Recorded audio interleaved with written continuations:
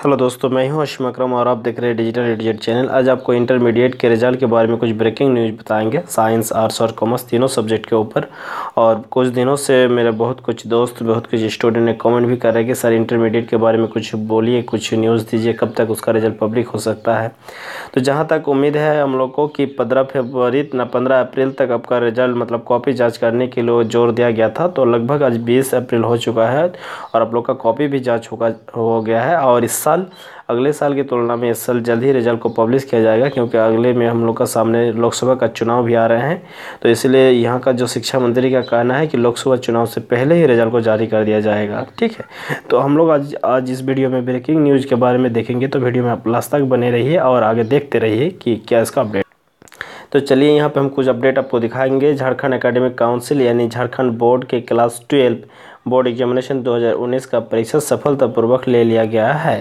तथा इस साल जैक एंड ट्वेल्व बोर्ड 2019 के एग्ज़ाम में लगभग तीन लाख पंद्रह हज़ार आठ सौ पैंतीस कैंडिडेट एग्ज़ाम दिया है, जो कि झारखंड एकेडमिक काउंसिल के द्वारा चार सौ एग्ज़ाम सेंटर में लिया गया था। इसका जो एग्ज़ाम चला था, आपका आपका चला था 20 फरवरी से लेकर 9 मार्च तक और ये दूसरे पाली में चल रहा था। और पहला पाली में अपना आप लोग का मैट्रिक का एग्ज़ाम चल रहा था। तो यहाँ पे और कुछ है जो दिखा आपको दिखाएँगे कि अगर झारखंड एकेडमिक काउंसिल यानी झारखंड बोर्ड के क्लास ट्वेल्थ बोर्ड एग्जामिनेशन 2019 का परीक्षा की कॉपी जाँच भी कर लिया गया है तथा इसकी रिज़ल्ट जैक बोर्ड जल्द ही कर, जारी करने वाले हैं। जैक बोर्ड इस साल पिछले साल की तुलना में जल्द ही रिज़ल्ट जारी करेगा क्योंकि लोकसभा चुनाव के कारण रिज़ल्ट जा, जारी होने में दिक्कत ना हो इसीलिए चुनाव से पहले रिज़ल्ट जारी कर दिया जाएगा। इसका मतलब जहाँ तक हम उम्मीद कर सकते हैं कि हम लोग का जो आपका अभी मान के चले बीस अप्रैल तक अगर आपका कॉपी जाँच हो चुका है या हो भी गया है जहाँ तक हम लोग को न्यूज़ आ रहे हैं कि तो अब मान के चलिए कि चार पाँच दिन इसको मार्क्स को चढ़ाने और ये ठीक ठाक करने में लगेगा और हो सकता है तो आपका अट्ठाईस, उनतीस अप्रैल यानी अप्रैल महीना के लास्ट तक में आपका जारी हो जाएगा। अगर नहीं भी होता, बायदा भी कुछ दिक्कत होता है तो इतना मान के रखिए कि मई महीना में फ़र्स्ट वीक में ही आपका रिज़ल्ट आ जाएगा। ठीक है, और इसमें जो कहना है कुछ और इसे यहाँ देख लीजिए।